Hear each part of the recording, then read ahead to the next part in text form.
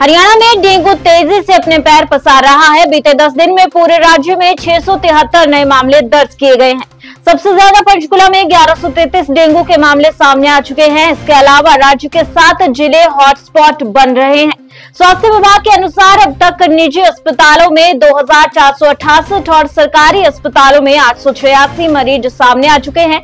बात करें अगर डेंगू के केसेस की तो सबसे अधिक पंचकुला में 1133, गुरुग्राम में एक सौ इक्यावन करनाल में दो रेवाड़ी में एक सौ चौरानवे सोनीपत में दो सौ उन्नीस फरीदाबाद में 108 और हिसार में तीन सौ उनचास केस आ चुके हैं। ये सभी छह ज़िले ही डेंगू के सबसे बड़े हॉटस्पॉट बन चुके हैं। चिकनगुनिया के भी इक्कीस मामले सामने आए हैं।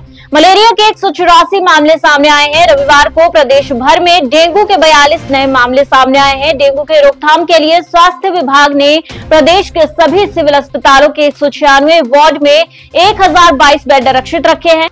अब तक अट्ठावन निःशुल्क एसडीपी किट प्रयोग की जा चुकी है और एक दशमलव अठासठ लाख घरों में डेंगू का लार्वा मिल चुका है।